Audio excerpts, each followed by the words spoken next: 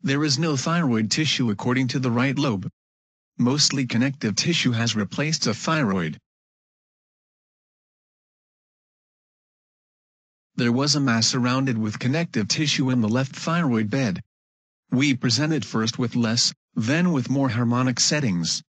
The lesion is shown first with less harmonic settings. It had echonormal and very hypoechoic parts and presented with intranodal echogenic figures. Besides some linear forms, most correspond to microcalcifications. By using these settings, the lesion has minimal if any cystic areas. The situation is completely different with using better harmonization. Around half of the node seems to be deceptively cystic.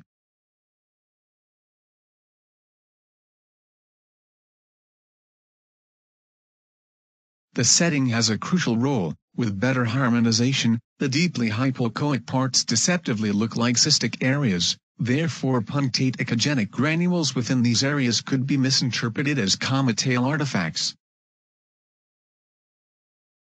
The lesion shows vascularity even within the very hypoechoic areas, a fact which also stands for solid tissue. left the node with worse while right with better harmonization. I emphasize here two important things. First, let's compare the lower images. The less harmonic image left reflects the reality, that is, the darkest areas are solid and not cystic. If we compare the upper, transverse images, this difference cannot be observed. This can be explained by technical reasons. The anatomic situation, the presence of Adam's apple hindered the correct placement of the probe to the neck which worsened the penetrance of ultrasound wave.